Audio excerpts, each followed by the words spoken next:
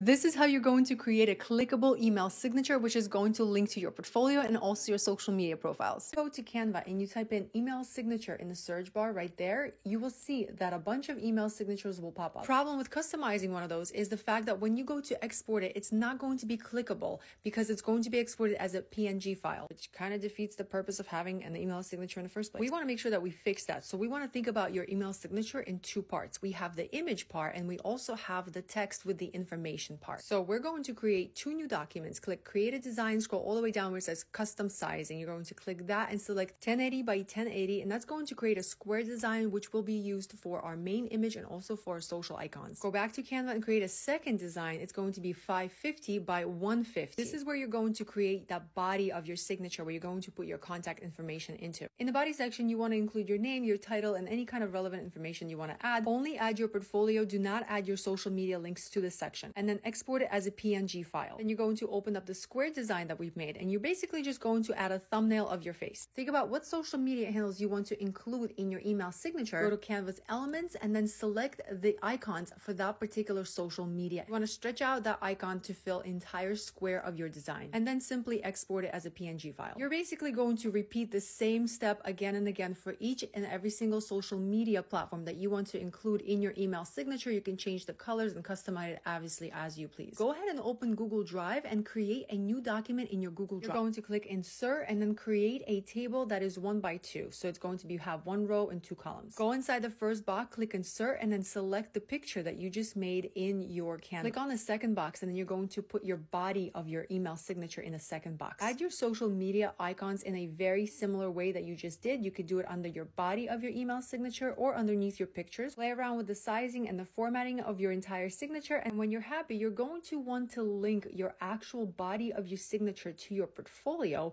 And then each and every single social media icons will need to be linked independently to your social media accounts. Next, you're going to select the lines that make up your box and you're actually going to change their color from black to white. So you want to keep that box around your signature, but I feel like it looks a lot cleaner when the lines are white. When you're ready to insert your email signature into your Gmail, make sure that you select the entire email signature and then copy it. Go to your Gmail, click on settings, select see all settings. Scroll down to where it says email signature. Click create new and give it a new name. Over to the signature box and just hit paste and here you have your signature. Make sure you change the defaults from your old ones to your new signature on both accounts right there. And don't forget to click save. Now that you have your email signature in your email, you just want to make sure that it, everything works and all of the links are operational. So send yourself an email just testing out the links. I'm going to send myself an email on my different account just so you guys can see that it works. So this is the email I